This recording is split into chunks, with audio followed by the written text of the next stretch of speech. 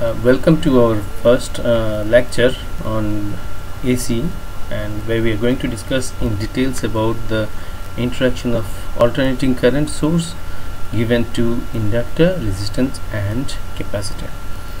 Now if you remember in our uh, first chapter, second chapter we have done with capacitor and by this time you all know about inductor even and resistance we have done in the very beginning that is of current electricity chapter so these three are called as passive elements and uh, because they are passive we call them passive because they don't generate power of them own so we call them passive elements ये resistance capacitor और inductor ये तीन components हैं जिसमें हम किस किस तरह की सोर्स दे सकते हैं हालाँकि हायर लेवल में बीएससी लेवल में बीटेक लेवल में इसके थोड़ा हायर एनालिसिस होता है एंट्रेंस पॉइंट ऑफ़ व्यू में भी थोड़ा सा हाई चाहिए, पर नॉर्मल बोर्ड एग्ज़ाम में इसके सिर्फ़ AC input AC voltage source देने से क्या रिएक्शन हो रहा है, वो हमें एनालिसिस करना है।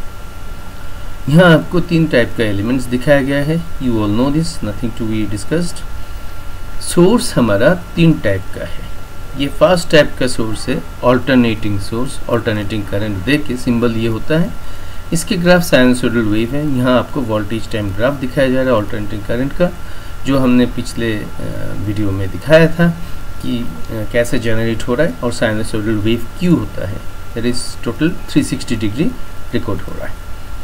अब देखो this is direct current source means DC normal battery supply ideal case ideal case में क्या होता है? वोल्टेज टाइम ग्राफ अगर ड्रॉ करोगे बैटरी का that will be showing a straight line voltage तो शुरू से आइडल केस है तो मान लो 5 वोल्ट है तो 5 वोल्ट ही रहेगा शुरू से।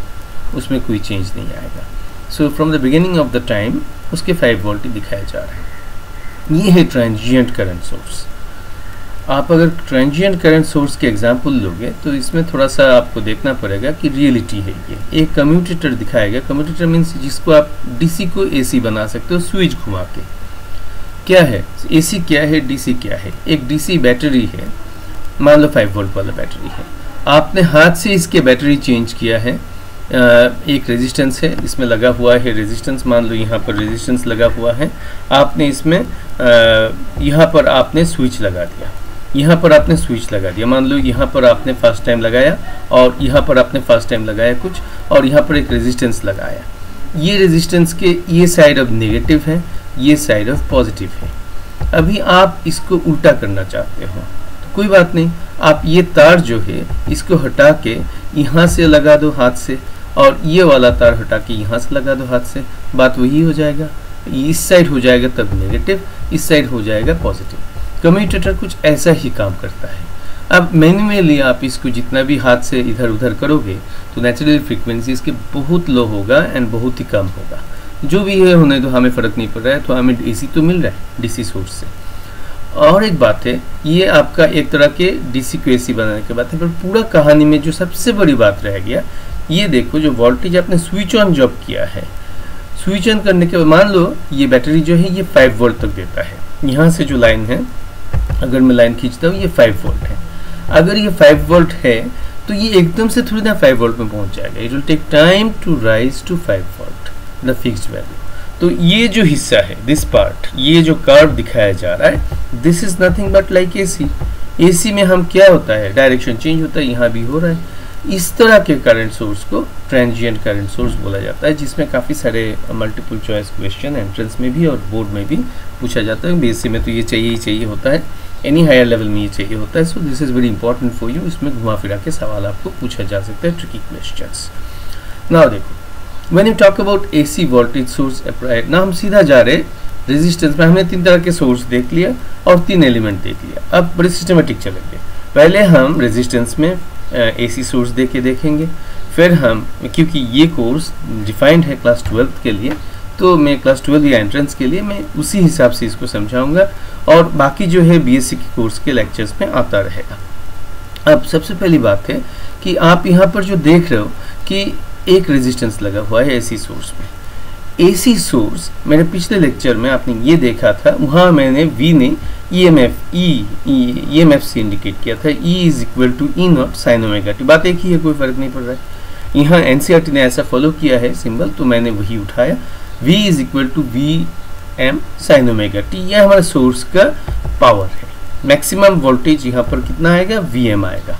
और मिनिमम तो कुछ भी आ सकता है एंगल के मुताबिक साइनोसोडल वेव से ये सिग्नल दे रहा है। अब देखो, ये सर्किट जो बना हुआ है, इसमें कुछ नहीं है और सिर्फ़ एक रेजिस्टेंस है। ये रेजिस्टेंस हमारा रह गया और ये सोर्स है और कुछ है ही नहीं। अगर आप इसको जोड़ोगे पिक्चर्स लो लगा के लूप लो लगाओ तो इसमें कोई, हम इसको भी सोर्स मान रहे, इसको भी कुछ मान एलिमेंट मान रहे, इसको भी एलिमेंट मान रहे। तो हमारे पास क्या है? कुल मिला के ज़ीरो रहेगा। तो हम क्या बोल सकते हैं?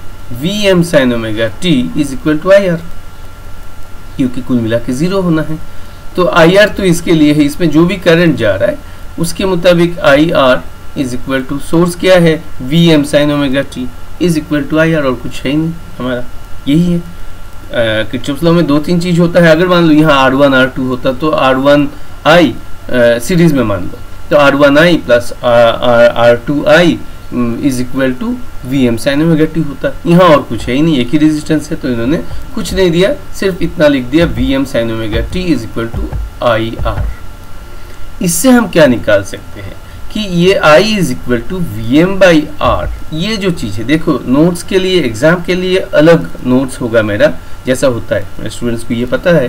पर ये आपको समझाने के लिए एनसीईआरटी e से क्यों करना है? एनसीईआरटी e के ये इक्वेशंस डायरेक्टली करोगे तो क्विक रिवीजन आप कर पाओगे। एनसीईआरटी e में काफ़ी शॉर्टकट में देते हैं आई एग्री बट इसमें फ़ायदा ये है कि आपके ब्रेन पूरा चलेगा और क्विक रिविजन कर लोगे। जैसे यहाँ देखिए, एकदम शॉर्टकट में ये इक्वेशन करके दिखा दिया। तो ये जो वी एम बाई आर है, ये जो हमारा वी एम बाई आर आया सामने साइन तो जैसा वैसे ही रह गया। ये क्या है? वोल्टेज बाई रेजिस्टेंस तो करंट होता है, और ये V M voltage maximum by resistance तो ये करंट आई आई एम होगा करंट मैक्सिमम होगा तो हमारा हो गया this is equal to this ये ये this is equal to this sine omega t जैसे वैसे ही रह गया, बस इतना सा सिंपल सी बात है सो आइए हमारा इक्वेशन क्या आया? I is equal to I M sine omega t हमने यहाँ शुरू किया है, ये रेजिस्टेंस वाला बड़ा सिंपल है, पर ध्यान से समझना है इसको, हमने शुरू किया है कैसे? V is equal to V M sine omega t source को हमने वोल्टेज सोर्स माना है। और हमें मिला क्या है? I is equal to I M sine omega t आपको घुमा के अगर सवाल पूछा जा सकता है, जैसा एंट्रेंस में या हायर लेवल में, या बोर्ड में भी आजकल पूछ लेते हैं। आपको ऐसा ना दे के वोल्टेज सोर्स ना दे के यहाँ करंट सोर्स बोला जा सकता है। जिसकी वैल्यू आपको आई एम से दिया जाएगा और आप उल्टा चलोगे उसमें, उल्टा चल के आप v equal to V M sine omega t में पहुँच जाओगे। बात तो एक ही होगा। अब देखो, यही चीज़ करंट वाला इक्वेशन इस ग्राफ में देखो ध्यान से। इस ग्राफ में वोल्टेज और करंट नीचे वाला है करंट ये है करंट वाला, ये है करंट वाला और ये है वोल्टेज वाला इक्वेशन ग्राफ अब एक बात बड़े लाख टके की बात दिमाग में आता है कि वोल्टेज ऊपर क्यों है? ये साफ़ साफ़ हमें दिख रहा है कि वोल्टेज ज़्यादा है करंट से। क्यों? वोल्टेज ही ज़्यादा क्यों होना है? करंट क्यों कम होना है हमेशा? हमारे आके किसने बोल दिया? फॉर्मूला में ध्यान देंगे हम। सिंपल सी बात है। I M is equal to V M by R ये फॉर्मूला ये बात बोल रहा है। I M is equal to V M by R if I M is equal to V M by R अब बड़ा कौन है, छोटा कौन है? V M is equal to R into I M R तो कुछ होगा ना? कुछ तो वैल्यू होगा आर का। आर ज़ीरो तो हम नहीं ले रहे। तो obviously V M is equal to something multiplied into I M तो आई एम छोटा होना ही है वी एम से। तो वही बात पे हम चलेंगे। हम इसी को मान के चलेंगे।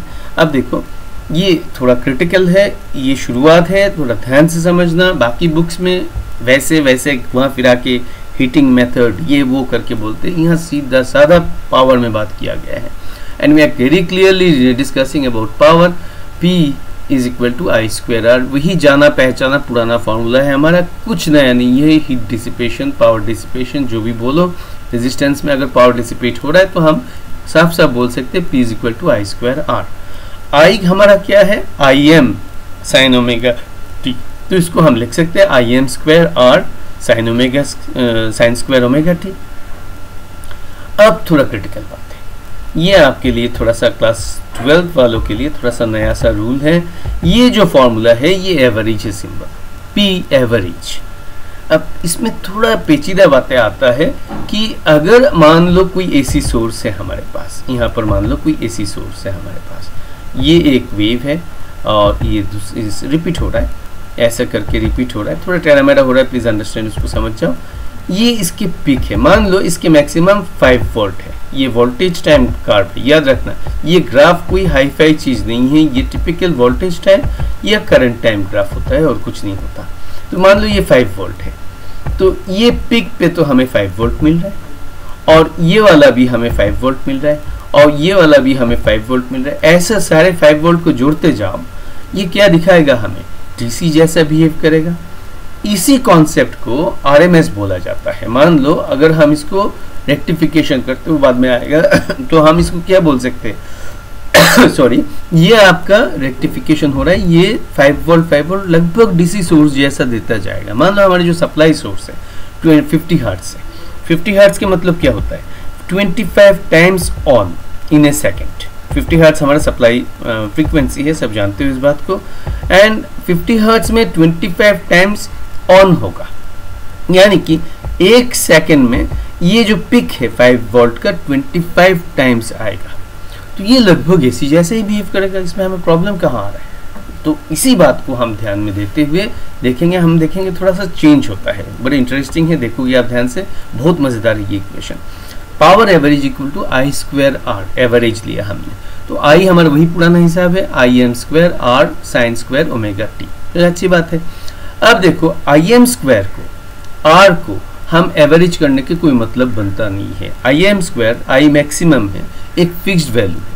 उसको एवरेज हम क्या निकालें, वो तो फिक्स्ड वैल्यू है। आर, हमने एक कोई रेजिस्टेंस दिया है, उसको क्या एवरेज करेंगे? तो हमने इन दोनों को बाहर निकाल दिया एवरेज के। हाँ चेंजेबल चेंज सब्सटेंस जो है यहाँ पर that is sine omega sine square omega t इसको हम एवरेज में कहेंगे। मज़े की बात है, अगर हम साइन स्क्वायर ओमेगा टी को एवरेज करते हैं that turns to only half कैसे आ रहा है? ये पूरा मैथमेटिकल काम है। ये जो इक्वेशन आपको दिखाया गया है साइन स्क्वायर ओमेगा टी को मैं लिख सकता हूँ वन माइनस कॉस देखो cos two theta is equal to cos square theta minus sine square theta उसके याद करो ट्रिगोनोमेट्री पुराना और उसको हम वापस कर सकते हैं कर कर के हम इसको कॉस टू ओमेगा के हिसाब से लिख सकते हैं तो हाफ़ बाहर आ जाएगा। यही इन्होंने यहाँ पर दिखाया एनसीईआरटी में। लास्ट में नीचे नोट में देखोगे वही मैंने उठा, उठा के दिया है यहाँ पर।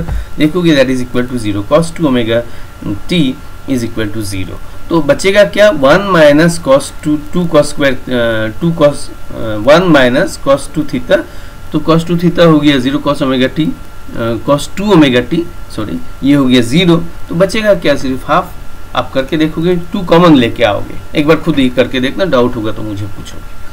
अब ये जो केस है तो इससे हमें क्या मिल रहा है आखिर में? दैट मीन्स पावर एवरेज ये पावर एवरेज देखो ऊपर बार है। Power average is equal to half I M square R क्योंकि वो हाफ़